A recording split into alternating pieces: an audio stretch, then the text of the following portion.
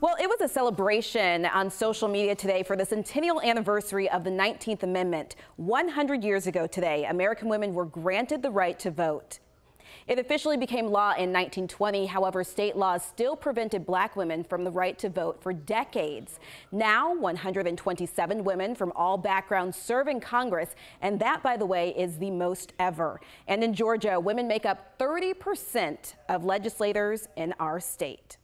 Now, one of them is Congresswoman Lucy McBath, who introduced a new bill to fight gun violence called the Federal Extreme Risk Protection Order Act of 2019 to members of Congress today.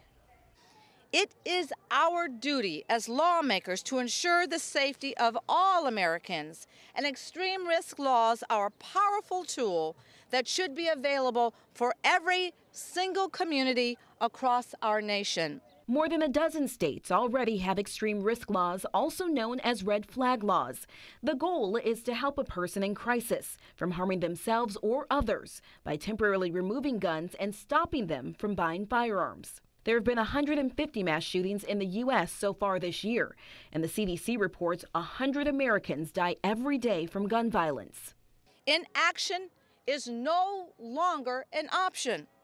We have the power the ability and the responsibility to change our nation's laws to save lives. Opponents argue extreme risk laws violate Second Amendment rights.